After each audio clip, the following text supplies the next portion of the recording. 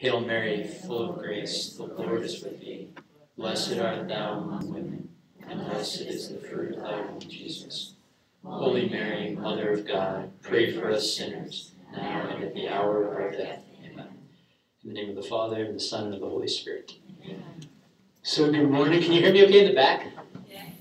Okay. Maybe I don't even need this, but I'll try it, and if it gets irritating, just let me know. So, I joined the novitiate the seminary for the Legionaries of Christ in September of 2000, September 14th, 2000. And I remember they took us to the cubicles that we were going to live in for the next two years. Each of us had our own cubicle, nicely furnished with a bed and a little dresser, and that was it. And I remember hanging up there, there was a black cassock. So cassock is the black robe that priests used to wear, that we still wear when we're in the house. We don't wear it too much out of the house, we wear it in the house and then a black sash, so like a black band, like a band of cloth with a safety pin stuck in it, and then a white collar. And I knew I was supposed to wear them, but I didn't know what they were for. I didn't know what the purpose was. And the next day they explained, okay, so the black cassock, this black sack basically, is a sign of the vow of poverty, that Christ is going to be your only treasure. And then the white collar is a sign of the vow of chastity, that you're called to love in the same way that Christ loved in this world. And then the black sash with the safety pin to hold it up is a sign of obedience. Like it's wrapped around your waist, so it's kind of a, supposed to be a sign that you've yoked yourself to Christ and that His will is your will, that God's will is your will now, that you've totally given up your own will to the will of the Father. And when I understood what those things were for, when I understood what their purpose was, I knew why I was wearing them. Purpose is identity we could really say that purpose is identity for us. If we understand the purpose, we understand identity. So, why do we exist? What am I created for? What are you created for? And we all have different vocations, we all have different callings in life. But is there one core purpose, you could say, that we all share? What is it? Catechism of the Catholic Church gives us that answer in the very first number. So that was just a little teaser. We'll get to that in a minute. But first, I want to go through very quickly, just through remind us of the vision for the Regnum Christi Women's section. Here in Philadelphia, it's a vibrant section filled with women of faith who love and live like Christ, have a burning desire to be a passionate apostle, look to the Blessed Mother for her intercession to help us fulfill our mission in the church as wives, and mothers, and beloved daughters of Christ. There are a few questions that Stephanie has always proposed. Did we work like Jesus? Did we reveal Christ's love? Did we form apostles? Did we launch them in their God given mission? Did we awaken the individual and the family to their mission in life and in the church? In order to do that, we need formation. Formation is one of the pillars in Regnum Christi. But I think it's important to understand what do we mean when we say formation? St. John Paul II gives us, I think, the best explanation of formation. He said formation is transformation into Christ. Formation is actually transformation into Christ. It's almost like imagine a flower, like you have this kind of wilted rose maybe, and you start giving it a Miracle-Gro, and it starts to change, or it starts to flourish, hopefully. It starts to blossom and become what it's supposed to be, and it becomes something very, very beautiful, but it takes time. In the same way, formation is actually the lifelong process that we have of transformation into Christ. And Christ, through the Holy Spirit, does all the heavy lifting. He's the one who actually transforms us, but we have to show up. That's all he asks us is just to show up. So one of the ways, I'm not going to read all these now. We're going to send these, these slides around so you can read these what we understand by formation. But that's the core of it, is that transformation into Christ. And these are just some different ways that Regnum Christi offers to do that, individually, as a team, as a section, and then as a territory. So this would be like as a section, one of the ways that we're invited to undergo that transformation into Christ. So that's why we're doing this whole series. And let's get back to that earlier question. Is there one thing that we're all created for? one thing that we all share, no matter what our vocation is, no matter what our struggles are, no matter what our gifts are, is one thing that we're all created for. Catechism tells us God, infinitely perfect and blessed in himself, in a plan of sheer goodness, freely created man to make him share in his own blessed life. He freely created man, all of us, to make us share in his own blessed life. That's why we're created. It's pretty awesome. And what is God's own blessed life? We know that God is love. That's what the Bible tells us. God is love. If you want to understand Blessed Trinity, I think the best image comes from St. Augustine. St. Augustine said, Imagine that you have our own experience of human love, and that can tell us something about God. So, whenever you really love somebody, you have a lover, you have a beloved, and then you have the love between them, which is so powerful that it can be like a third person, right, or a third reality. The lover, beloved, and then the love between them. So he said the Father in the Trinity is the lover. The Son is like the beloved, and the Holy Spirit is like the love between them, which is so powerful that it, it's a third person. Keep this in mind because when we talk later about everything to do with marriage, hopefully this sounds familiar lover, beloved, and the love between them, which is a third person. So it's an image of God in the family. But God is love. So it's this constant dynamic of giving and receiving love in the Blessed Trinity.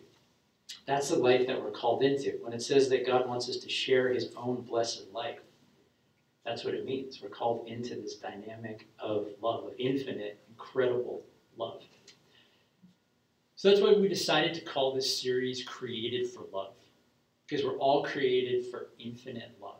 We're created to receive God's love and to respond with our own love. We're called to love all people as God loves them. That's why we're created. And that means that in the end, Catholicism is a great yes. It's a yes to love. If you want a simple definition of Catholicism, it's just a yes to love, to God's plan of love for the human person. And we're going to talk about some very tough topics later on in this series. I was thinking about this today how the gospel is the good news. I think we all believe that, right? Christ came to give us the good news. But in the world that we live in today, there are many parts of that good news that we don't see as good news anymore. We think they're bad news. And I thought, wouldn't it be great if we can actually give God a fair hearing? Just to say, okay, what's your whole plan? Why do you teach what you teach us in the gospel? I think most of you are, are parents here, right? Probably everybody, I think, has children.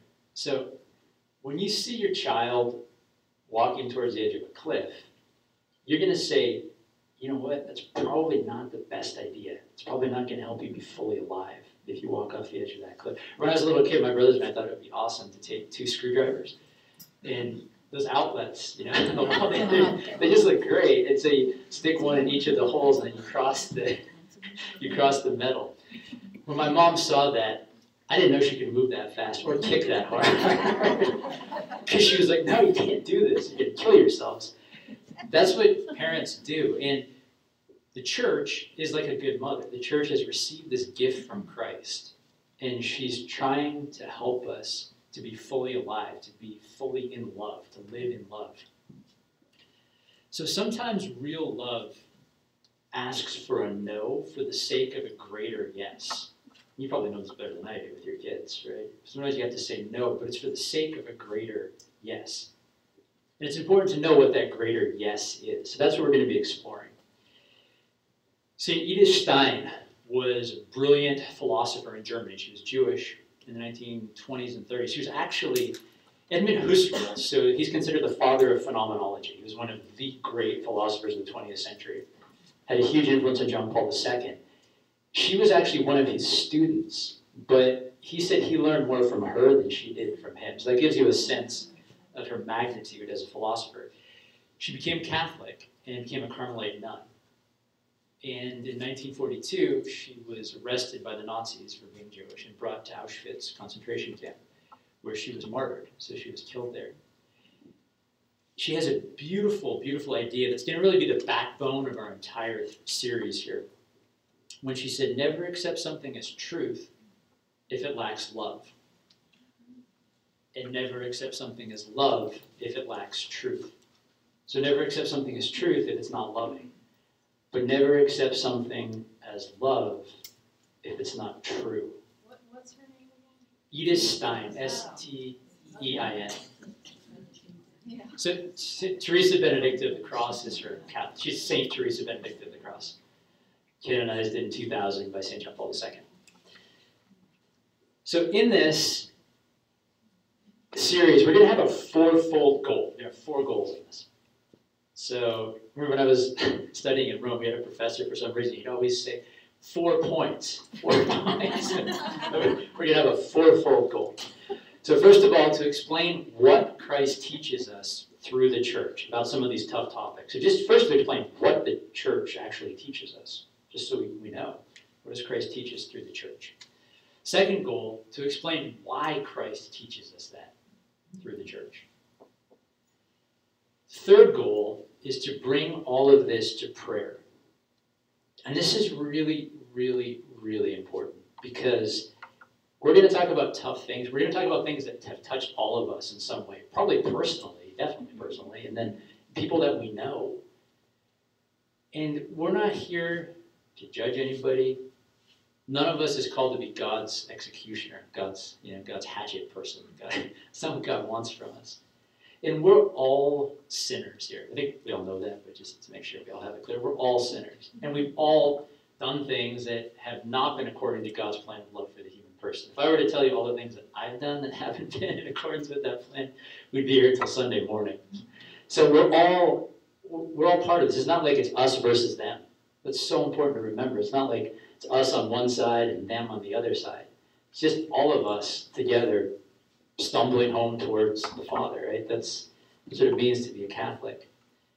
So I would really encourage you, if there are things in here that are difficult, I don't understand this, bring it to prayer. First is bring it to prayer, bring it to Jesus. And then, like Stephanie said, by all means, I mean, reach out to Father Peter, to me, to anybody that you think might be able to explain more of this. But first, bring it to Christ in prayer. So this is just to give people things to pray about.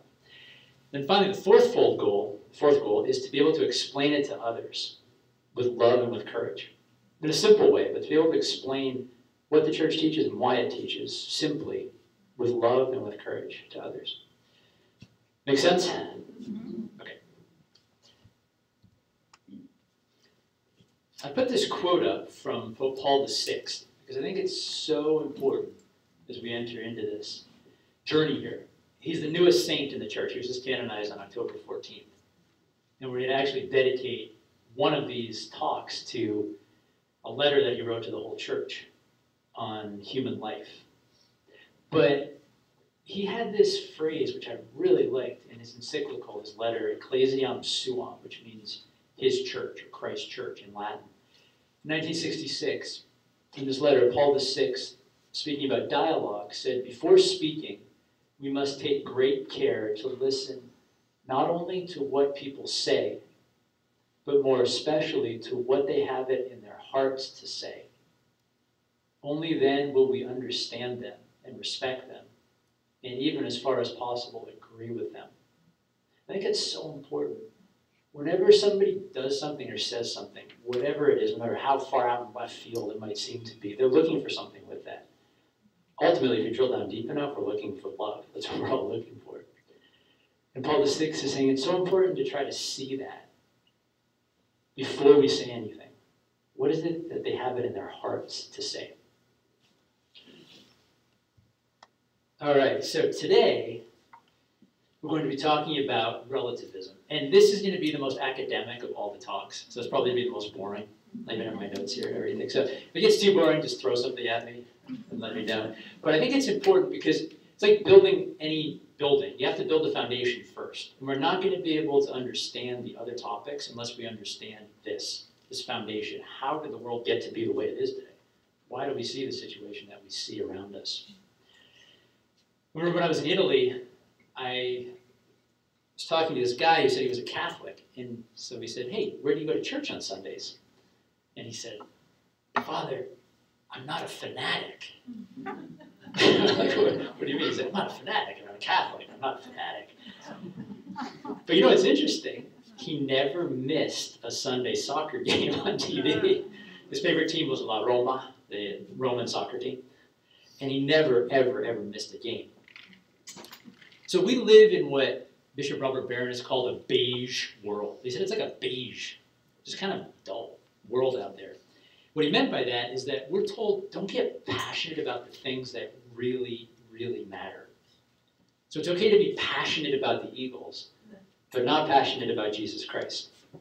The good thing is you can be passionate both about the Eagles and Jesus Christ, but first Christ and then the Eagles. Although I'm actually really convinced that Jesus is secretly a Giants fan. to be honest. we can talk about that later. Though. So another word for that beige world is moral mediocrity. You call it moral mediocrity. So we're told strive for excellence in sports, strive to make as much money as you can, strive to be as beautiful as you can for as long as you can, strive to have the right friends, the right kids. And those are all good things. But then we're told don't, don't, don't, don't, don't strive to make Jesus Christ the center of your life. Don't strive to love him with all your heart, all your soul, all your mind, and all your strength. Don't help others to know how much he loves them. So be mediocre when it comes to the things that really matter. And there's a name for the philosophy that's behind all of that. There's a name for the thinking that's behind all of that, and it's relativism. So this talk is going to be very simple in structure. It's just going to be, first of all, what is relativism? We say relativism, what do we mean by it? Secondly, who started it? Three would be, what are the pillars of relativism, the few pillars that we can identify? What are the outcomes of relativism? And then what does God say about it? And this will all be up here on the screen, so you don't need to write it down. But just to give you a sense of where we're going, that's where we're going. So, what is relativism? In college, I was talking to a friend of a friend, and he said, we're talking about religion, and he said, the only absolute truth is that there is no absolute truth. So, actually, if you think about that, you can start to see the inherent problem of relativism right there. The only absolute truth is that there is no absolute truth. So, there is at least one absolute truth, which is that there is no absolute truth. But if you want a simple definition of relativism, that's it. The only absolute truth is that there is no absolute truth. You have your truth, I have my truth. You have what's good for you, I have what's good for me.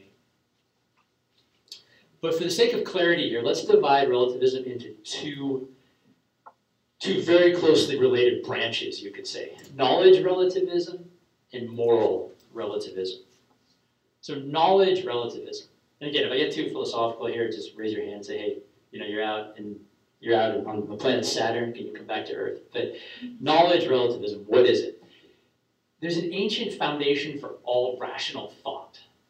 The ancient Greeks were already writing about this 500 years before the birth of Christ. It's called the principle of non contradiction. The principle of non contradiction. Or the PNC, you call it the PNC, the principle of non contradiction. And it's really, really simple. It just says it's impossible for something both to be and not to be at the same time and in the same way. Very common sense, right? It's impossible for something both to be and not to be at the same time and in the same way. So let's take, for example, a Starbucks Frappuccino. So the ingredients of a Frappuccino, honestly, I didn't know this, I had to look it up this morning on the internet, but the ingredients of a Frappuccino are ice, milk, Frappuccino syrup, coffee, whipped cream, vanilla syrup, and vanilla bean powder. You mix those together, you put them in a nice Starbucks cup, and you get a Frappuccino. We could not, according to the principle of non-contradiction, we could not take nail polish remover and motor oil, mix them together, put them in a Starbucks cup, and call them a Frappuccino. It's not a Frappuccino. It's something else. Actually, it's poison, but it's not a Frappuccino. Or let's say, take this podium. So the principle of non-contradiction would say this podium here can't be both a podium and a basketball hoop at the same time and in the same way. It's just not possible. And this is all common sense, right? We all live like this. I mean, nobody goes up to the top floor of the Empire State Building and then tries to leave by the window. We know, no, I mean, stairs are to go down. You don't go out the window from that height. We, we know this. But knowledge relativism would try to throw this out the window. Would say one idea is just as good as any other idea. Nobody really lives like because even those who would subscribe to this knowledge relativism aren't going to go walk in front of a tractor trailer coming down the highway.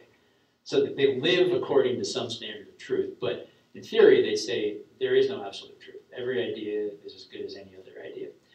So knowledge relativism throws the principle of non-contradiction out the window. Moral, well actually here's one more example that I really like. I think this is the greatest cartoon of all time. It reminds me of me when I was a kid, actually. I don't know if you can see this, it's the far side. So there's the sign, the Midvale School for the Gifted. And there's a door that says pull. And there's this kid trying to push the door open. So that would kind of be knowledge relativism, right? Like the principle of non-contradiction would say if it says pull, you gotta pull, but he's trying to push. knowledge relativism ultimately leads to moral relativism. Moral relativism would say there's nothing that's always right and nothing that's always wrong. It's pretty simple. Nothing that's always right, nothing that's always wrong. Depends on your point of view. You have what's good for you, I have what's good for me. And here we need to be nuanced because in some cases that's true. There's, there are many things that are morally neutral. For example, coffee, right? So Father Peter loves coffee, right? Every day he has a big cup of coffee. And it's good for him. I can't drink coffee, I'm allergic to it. So my hands shake, I get anxious, my, my skin breaks out, it's, it's bad for me. So what's good for Father Peter is bad for me. There are many things that are like that, that are morally neutral. Could be good for one person, it's not good for another person. But some things are not morally neutral. Some things are always good for everyone. Some things are always bad for everyone. Moral relativism would say, no, there's nothing that's always bad for everyone or always good for everyone. Since ancient times, there's been a foundational principle for moral action. By moral action, I just mean acting in the right way. There's been this principle to help guide people in that. It's very simple. It's do good and avoid evil. It doesn't get much simpler than that, right? Do good and avoid evil. But this assumes that some things are always good and some things are always bad. Some things are always good and some things are always evil. But some people would disagree. Some would say, no, there's nothing that's always good and nothing that's always evil. And that brings us to the next point, which is who started this? Obviously, relativism, this idea that the only absolute truth is that there is no absolute truth, is as old as humanity. Remember the book of Genesis, where Satan says to Adam and Eve, Did God really tell you? So it goes back to the beginning of time. But there's one thinker who, in my opinion, did more than anybody else to set the foundations for the relativism in the modern world. And that is William of Ockham. So he was a Franciscan priest. He lived from about 1287 to 1347. It's interesting, if you look at the history of the church, most of the great problems in the church, the great errors, the great heresies, were started by priests in their 40s. so, Father Peter, you're safe, right? I've got a couple more years and then I'm in the danger zone, so say a prayer for me. But he was a Franciscan priest, and he was a great philosopher, a great thinker.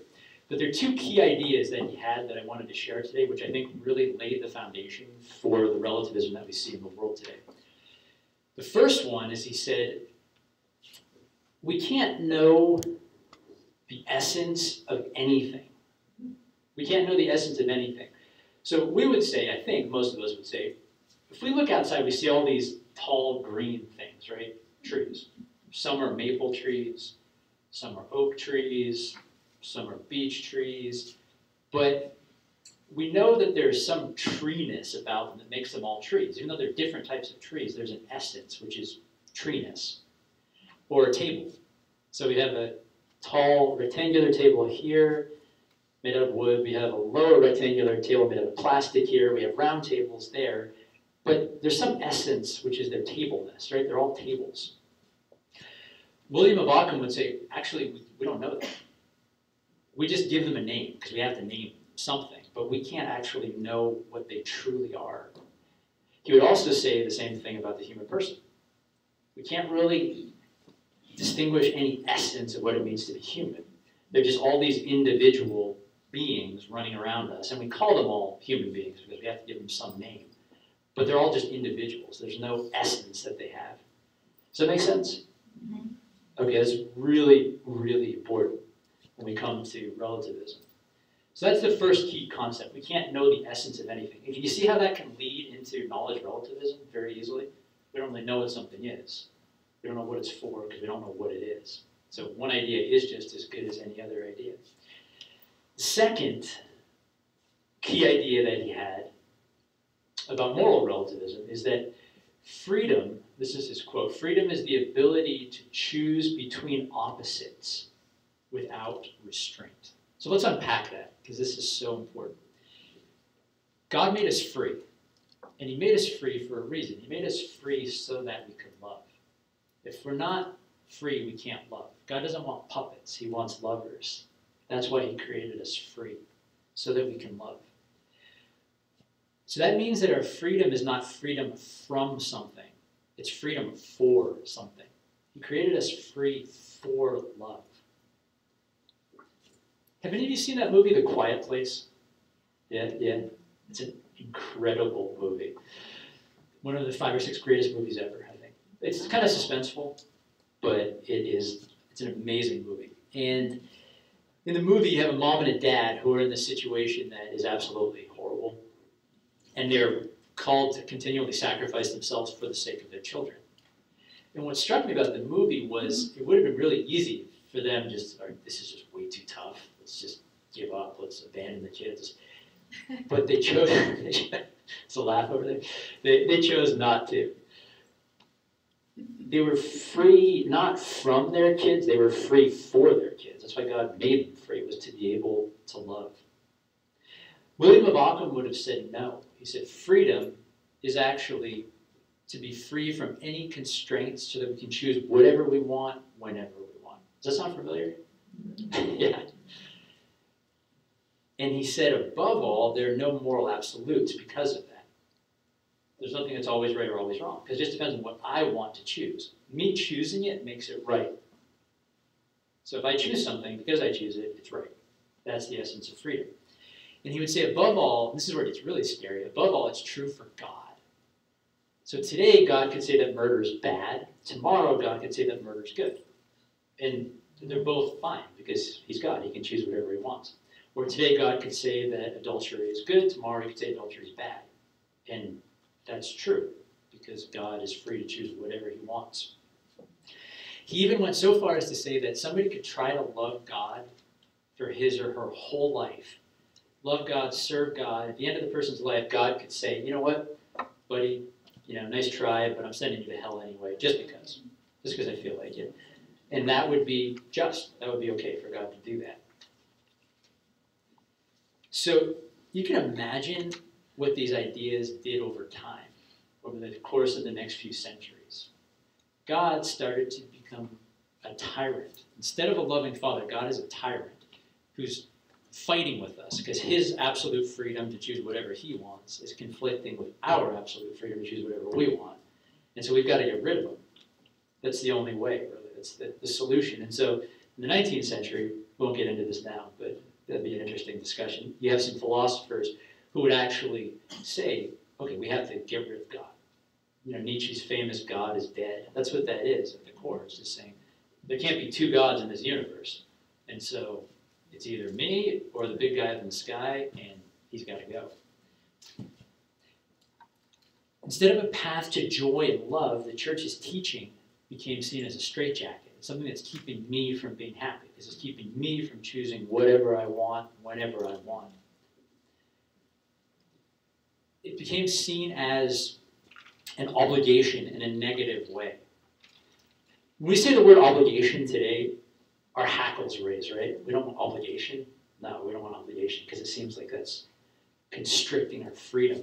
But you know what the word obligation actually means in Latin? This is really cool. So it comes from two Latin words, ob and ligare. So ob and then L-I-G-A-R-E. It actually means to unite, or in a sense, to, to bind two things together. So it's actually a relationship. When we talk about moral obligation, it's actually uniting us, linking us. like the obligation that husbands and wives have, or the obligation that parents have to their children. It's actually it's a link. It's not a straitjacket. It's a link uniting two people. I don't mean to beat up on William of Ockham here either. I mean, who knows what his intentions were? They might have been very good intentions. And he did see something important, which is that God is free. God is supremely free.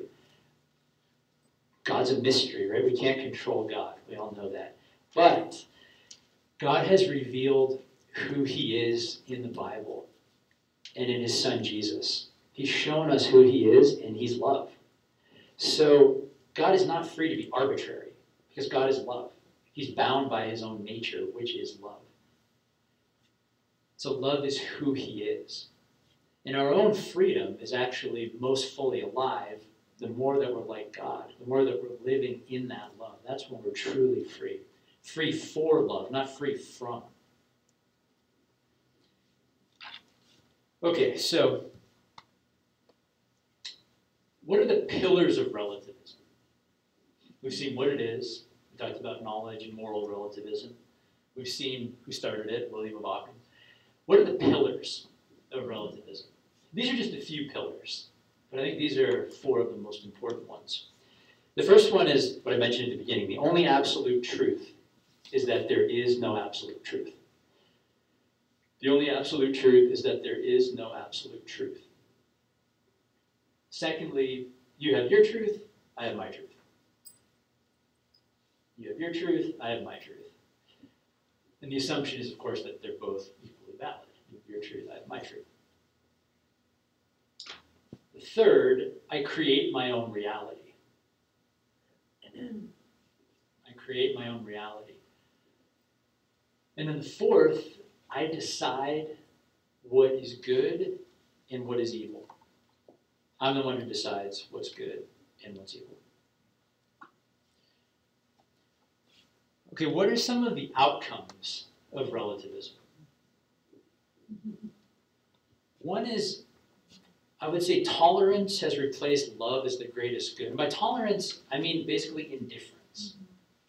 Because think about what we tolerate. You know, we tolerate mosquitoes, we tolerate undercooked asparagus, things like that. But we're not called to tolerate people, we're called to love people. And that's a, a really important distinction. And I think that this indifference is sort of like, okay, I mean, you do whatever you want, I do whatever I want. As long as you don't bother me, I really don't care what you do with your life. That is, that's indifference. That's replacing love. And I think that's one of the outcomes that we can see from relativism in the world today, is that that's total indifference. The next one is uncertainty. Okay, I'm not really sure what, what is good and what is evil, what's true and what's not true. I think that relativism can lead to that, that uncertainty. And here's important also to recognize that we're not saying that we're going to be 100% certain about everything all the time. But we are saying that we really can know the truth, and God has revealed it to us in His goodness. Then you have, well, actually, on this point of uncertainty, there's something I wanted to share. I think I had this quote in here.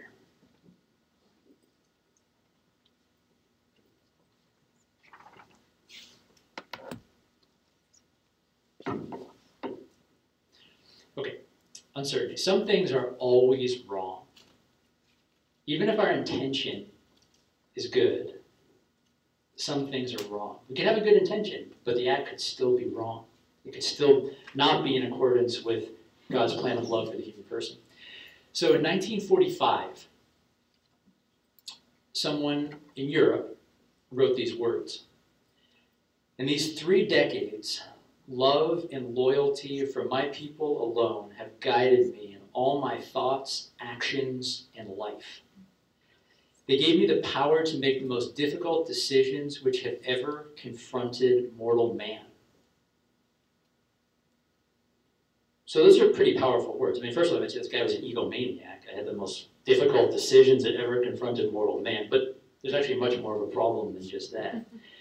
So if you listen to him, it sounds like all he had in mind was the good of his people, right? Love and loyalty for my people guided all my thoughts and all my actions. Everything that I did was just out of love for my people and loyalty to my people. Sounds beautiful, doesn't it? Mm-hmm. Sounds like his intentions were great. He wrote those words about two days before he committed suicide in a bunker in Berlin. It's from Adolf Hitler's diary. And I know that's kind of a, a shocking example, but, but I bring it out just to show that some things are always wrong no matter what our intentions are. And what he did was horrible, horrific, and yet he thought, he convinced himself, this is actually a good thing. Some things are always wrong, no matter what the intention is. And this brings us to a point which I think is also important. And you're going to hear this a lot, I'm sure, which is judge not. Have you ever heard that before? Judge not? Yeah? Okay. So judge not. Jesus says it in the, in the gospel judge not, lest ye be judged. I think it's important to know what he meant and what he didn't mean by that. What he meant was what we're talking about before that we're not called to be God's executioners, we're not called to judge other people's souls. We can't. You know, we have a list of canonized saints, thousands and thousands of canonized saints. You know, the church has never said that anybody is in hell. We know that hell's real and it's possible to go there, and none of us wants to go there. But the church has never said this person is in hell. We don't have a list of the condemned because we just don't know. That's up to God. It's only up to God. Bishop Fulton Sheen used to say that the biggest surprise in heaven, he said, is that I might be there. so heaven's a gift. It's not like something that any of us deserve. So that's what Jesus means. He means don't don't judge the state of somebody else's soul because we can't. We absolutely can't do that. But he's not saying don't judge some actions as right and wrong, because he's doing that all over the place in the gospel. If you look at the gospel, with the Pharisees, with the woman caught in adultery, he's so gentle and so merciful, but he also says, Go now and sin no more. He's calling her to a new freedom. So he's not saying don't judge actions as being right or wrong. What he is saying is don't try to judge the state of somebody else's soul. Let's not think that we're holier, that we're better, that somehow we're called to be God's God's hatchet people. Does that make sense? Okay. Then the next outcome is the tyranny of popular opinion. Something is good because a lot of people say that it's good. Something is bad because a lot of people say it's bad. But if we just go back to our example of Nazi Germany, we realize that that's actually not a good criterion for judging or deciding anything because Hitler was democratically elected in Germany. And many of the most enlightened, intelligent, refined, cultured people in Germany supported the Nazis. So just because something is popular doesn't mean that it's good. But this is an outcome of relativism. It says, okay, well, most people seem to be going in this direction. That's probably the right way to go. Then another outcome is just chaos. Chaos in society and chaos in our personal lives. And this is because with relativism, the river has no banks. This is an image from Blessed John Henry Newman. He said that the teaching of the church is like the banks of a river. And he said if the river's banks are strong and high, the river can go, it can move with passion, with purpose, with, with direction. But what happens if you knock the banks of a river down? It becomes a swamp and it starts to stagnate and it's not going anywhere. So moral relativism is really this attempt to knock the banks of the river down. Knowledge relativism is the attempt to knock the banks of the river down. That creates chaos, creates this swamp. And that leads to what I would call Catholicism on fumes, which is kind of like, well, you know, kind of Catholic, go to church on Sundays sometimes because that's what my parents did, but I really don't. It doesn't mean much to me. That's the culture that we're all living in. And we're all affected by it too. So I'd say that would be the last outcome this relativism. Now, what does God say about this? This is so important. What does God say? First of all, he says, Be holy. I am the way, the truth, and the life. No one comes to the Father except through me. This is Jesus.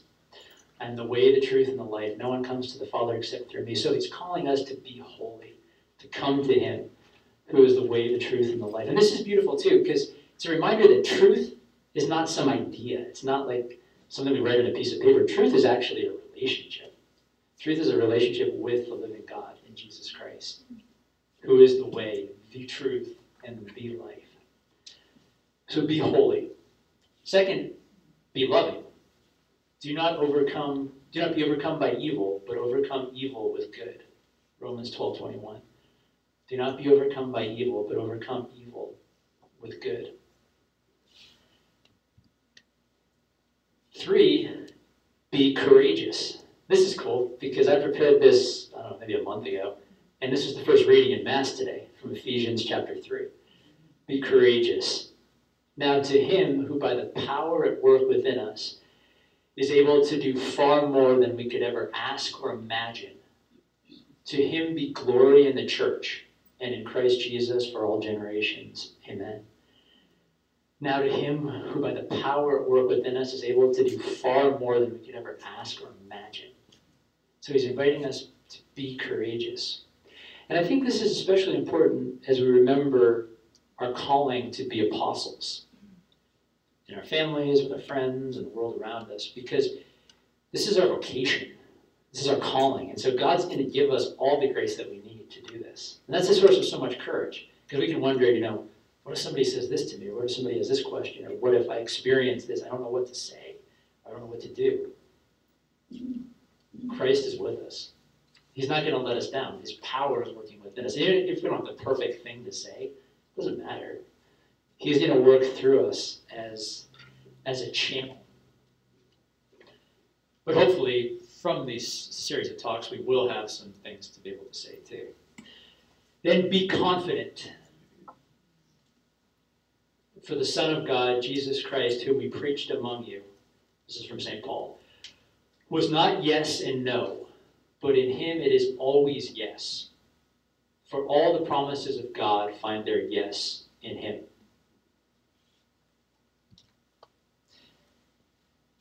So here are some resources that I have found very helpful when trying to understand more about relativism or explain it to people. The two, probably the two easiest are uh, Chris Stefanick, or Stefanik, who's he's kind of like a Christopher West, very engaging. He's really good for, for younger people, but he's very good at explaining relativism here. So we'll send all these out to you as well, but I just wanted to put them up here quickly. He's got a great talk, 13 minute talk on the internet, on YouTube about this. And then he has a great little book called Absolute Relativism. It's more like a pamphlet. It's like 40 pages long, really easy to read, but it's a great explanation of what we talked about. This book is actually going to come up again and again because it relates to all the different topics we're going to look at. Made this way, how to prepare kids to face today's tough moral issues. It's a very practical look at this. And then if you want to understand more about the philosophy behind relativism. This is a little, little more abstract, a little more philosophical, but Peter Kreeft has a great book called The Refutation of Moral Relativism. He's a professor at Boston College and has a great way of explaining philosophy in a very accessible manner. So, a refutation of moral relativism. Mary, Queen of Apostles, pray for us. All right, so that's pretty much what I had. You notice I didn't get too practical in this talk. We're going to have later talks about the tough issues, the hot button issues. I wanted to do in this talk, though, was just to try to prepare a foundation to understand how the world got to be the way it is today. And then a few things that we can actually say about moral relativism. So we'll have time for questions, but first, can we just take a couple minutes, Stephanie? I wanted to ask everybody just to think about some of those questions that we sent out beforehand to prepare the soil. So one would be just take a minute or two and just think now, how would I explain relativism in my own words? Just take a couple of minutes if you want to write it down or just think about it. How would I explain relativism in my own words?